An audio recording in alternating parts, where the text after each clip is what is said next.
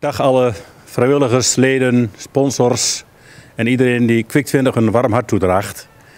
Het slechte nieuws is dat de wedstrijd van aanstaande zaterdag, de derby tussen Kwik 20 en de S, zonder publiek gespeeld moet worden.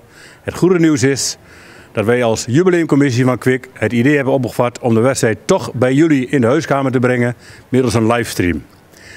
Die livestream die gaat door, dat is een ding wat zeker is. Maar of de wedstrijd doorgaat, het was net even twijfelachtig. Naast mij staat Frank Uldering. Frank, gaat het door die, eh, die wedstrijd? Jij dacht net volgens mij even van niet. Ja, het is uh, lastig uh, inschatten natuurlijk. Ik hoop, ik hoop dat hij doorgaat. Maar het is een rare tijd. Ehm, ja, je zegt natuurlijk de laatste half jaar al weinig voetbald. In maart natuurlijk de abrupte stop. Dus ehm, ja, wat, het, ja, je weet het niet, maar ik hoop natuurlijk dat het doorgaat. Gaan we wel vanuit. Maar er ging even een, een fake bericht door heel Nederland eigenlijk. Dat er komend weekend überhaupt niet gespeeld zal worden. Geloofde je dat bericht even? Eerlijk? Um, ja, eigenlijk wel. Ja. Nog steeds een beetje in mijn achterhoofd hoor, dat, dat het misschien wel zo is. Ik bedoel, uh, moeten we zeker niet uitsluiten. Maar uh, ja, het is nog geen definitief dat het niet doorgaat. Dus tot nu toe ga ik er gewoon vanuit dat we zaterdag tegen de S gaan voetballen. Kwik 20 is goed begonnen, 9 uit 3. Drie wedstrijden gewonnen, allemaal met duidelijke cijfers. Hoe kijk je terug op die, die start van Kwik? Ja, uh, we hebben natuurlijk in de beker uh, echt hele duidelijke uitslagen neergezet tegen Stevo, Barbaros en uh, gelijkspel tegen SSC2.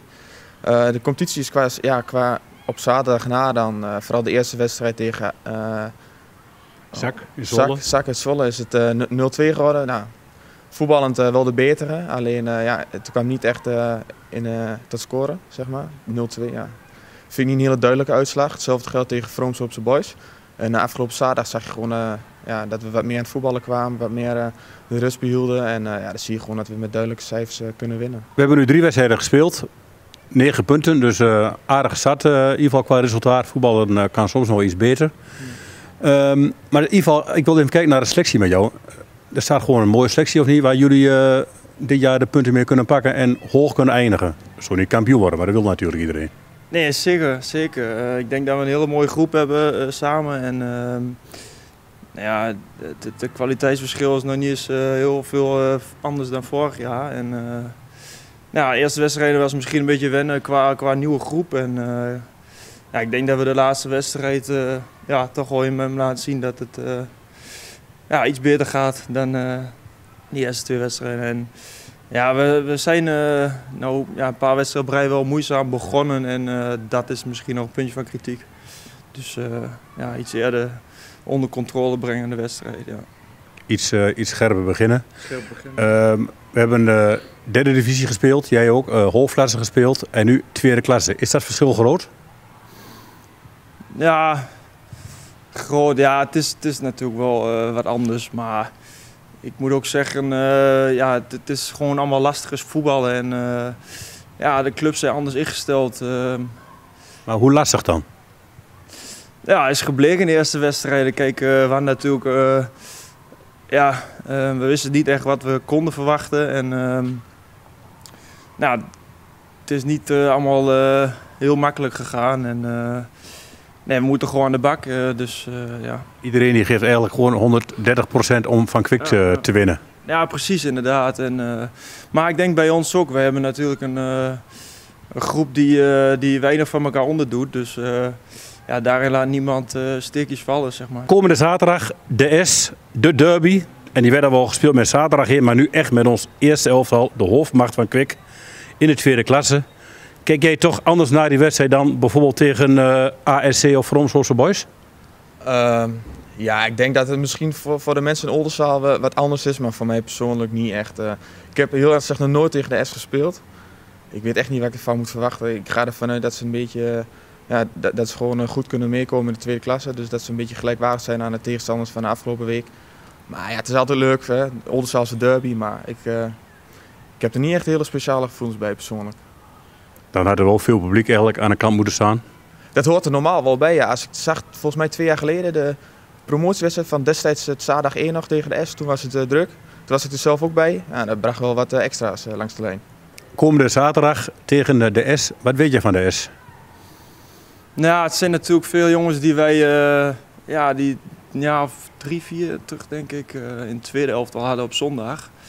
En uh, ja, wat ik daar nog van weet is dat die jongens uh, ja, prima een potje konden ballen. Dus ja, goed.